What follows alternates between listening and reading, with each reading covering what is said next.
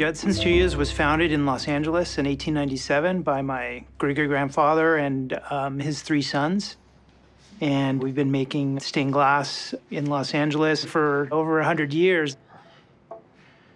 Judson manufactured the windows for Frank Lloyd Wright at the Hollyhock House, as well as the Ennis House a little bit later. The Judson Studios are based right here in the Arroyo Seco, which was the location where a lot of the artists and artisans settled because it fit right in between the millionaires of Pasadena and the business district of downtown Los Angeles. California at that time was also a place of renewal.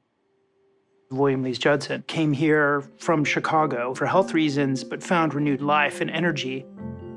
There was a very optimistic mentality a lot of people had that played out in their work. California attracts artists who think differently, but also the clientele. California provided a market for these artists. And we're still in a growth area where they're still building churches and they're still building commercial buildings and museums. That has a really strong influence on the Judson Studios.